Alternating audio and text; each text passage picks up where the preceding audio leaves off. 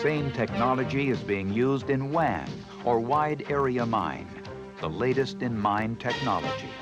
It detects acoustically and seismically that a vehicle is approaching and fires a warhead over the top of the target, which detonates the explosively formed projectile.